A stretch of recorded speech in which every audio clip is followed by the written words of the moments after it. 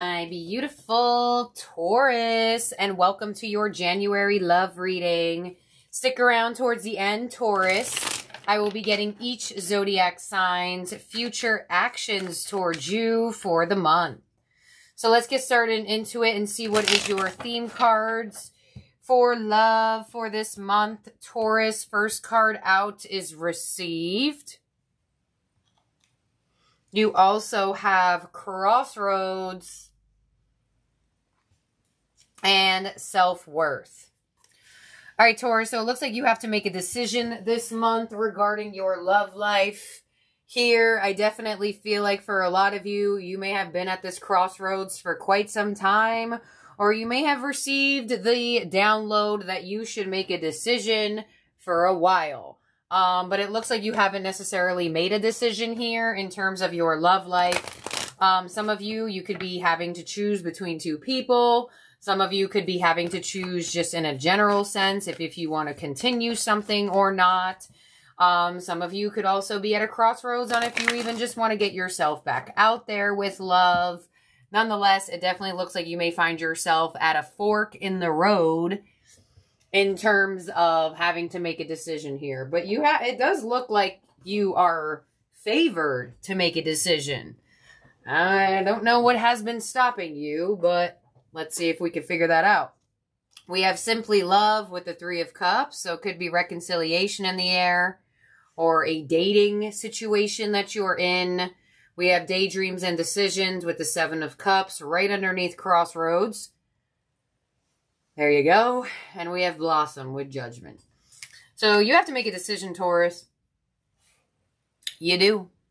Because I do feel like the indecision is causing delays for you somehow, some way, whether in connecting to the person you do want or having this connection move forward, whatever the case may be, I definitely feel like you are strongly in a position to make a decision here. And I feel like the longer you stay indecisive, the more things will not move forward here or move forward in general. So I'm not necessarily sure you're each and every one of you are going to have a different type of decision making process so let's see, Three of Cups to the Ace of Wands. So there's definitely somebody interested in you. They're attracted towards you. They want to continuously date you. They want to come back into your life. Um, could have a new person that's interested in dating you. We have the Eight of Cups and we have the Nine of Wands. So I do feel like for some of you, you could be holding on to somebody or continuously giving your energy to somebody. And you could be up in the air on if you should walk away from that or disassociate here. With the Nine of Wands, I mean, that's not the card I was really looking for for there. Uh, I mean, it doesn't really look like you're making a decision.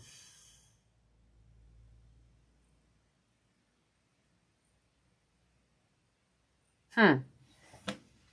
Let's clarify this here for you, Taurus. Somebody wants in. Somebody wants to continue this. Someone wants to start this. There it is, the Fool, the Tower, Six of Swords. So, there is something that you know that you should release. So, possibly this new individual here is who you want or who you don't want. It's like you feel if you disassociate or walk away, then you might feel like you destroyed something or messed up something but, uh, uh, Taurus, how confused are you? Because y'all are confusing me. You're either going to move on from someone or stick around. Basically, that's it.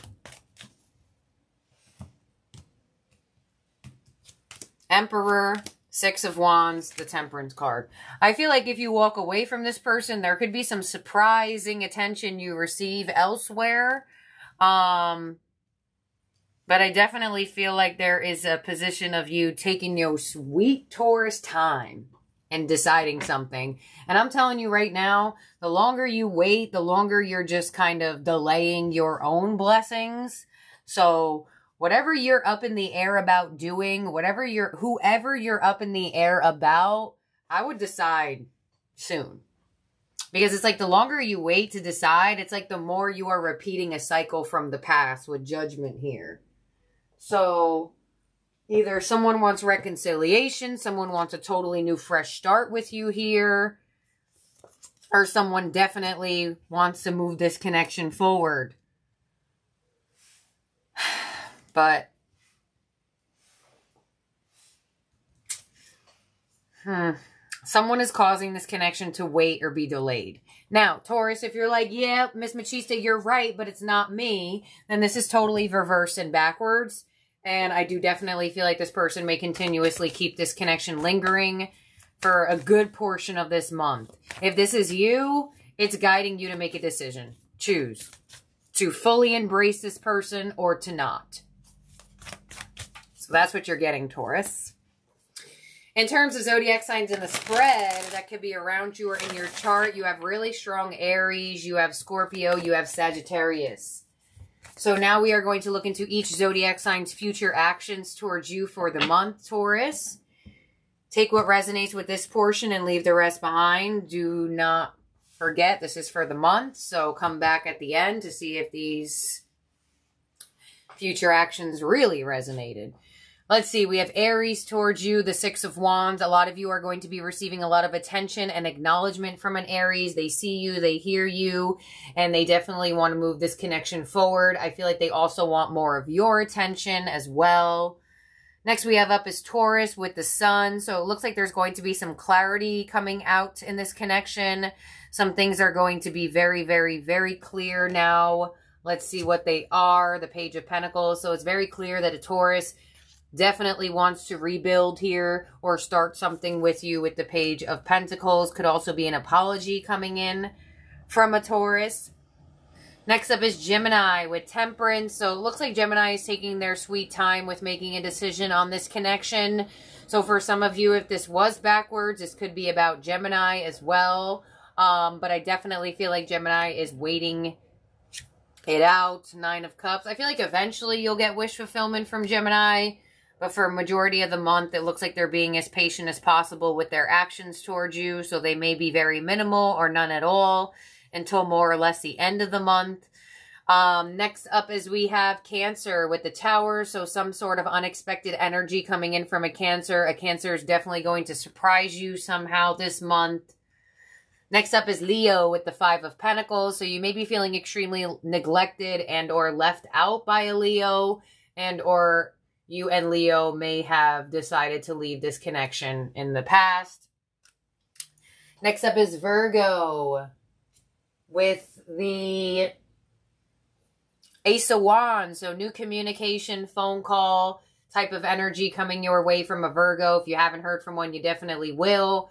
Um, if you're already connecting to a Virgo, I definitely feel like you two could be getting more intimate with each other or closer with each other, could have more flirtation. Next up is Libra with the Knight of Pentacles. So it looks like Libra is taking their time with definitely making a decision on this connection or taking their time with offers to this connection. They feel like there is a very high possibility you two could be stable, but they're just not moving that fast.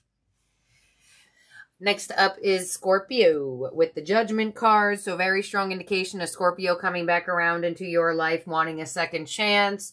Some of you, this could be a Scorpio that just wants a chance with you but nonetheless, definitely some sort of decision Scorpio's making to come in. Next up is Sagittarius with the devil. Could be dealing with a pretty toxic and or manipulative Sagittarius. I feel like they may try to tempt you back into their life this month or somehow, some way continue be continuously be toxic towards you this month. Could just be that there's a really strong sexual attraction between the two of you, um, but I do feel like they're slightly um, need to move out of that unhealthy habit.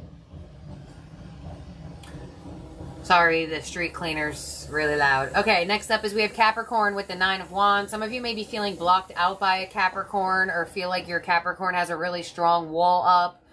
Nine of Wands type of energy. I almost feel like for some of you, Capricorn just not changing their ways. They feel like they don't have to. They feel like who they are and how they are is fine. And they could just be very stubborn in doing anything different for the connection or doing anything different at all.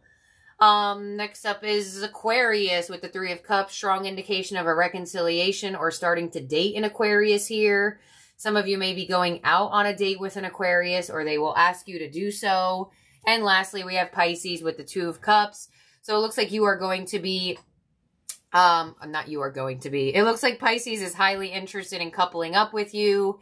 They feel like they're you that you are their soulmate. They feel like you two are meant to be together, and I definitely feel like they're going to take some action in making sure you two either stay connected or are connected.